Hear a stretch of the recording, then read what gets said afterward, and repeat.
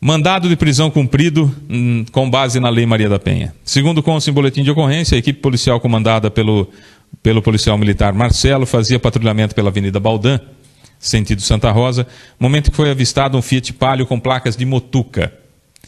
A PM resolveu abordar o veículo no momento em que constataram que contra o condutor havia um mandado de prisão pelo crime de ameaça contra a mulher, com base na Lei Maria da Penha. O mandado foi expedido pelo juiz Dr. Ricardo Domingos Rinhel. O crime foi cometido no dia 16 de março de 2016. O pedreiro de 32 anos, morador do Jardim Bela Vista, disse que não sabia do mandado de prisão.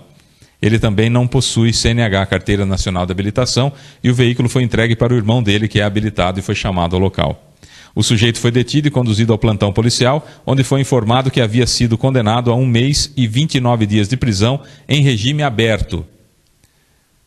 Após cientificação, ele foi liberado. E, enfim, foi embora para casa. Né?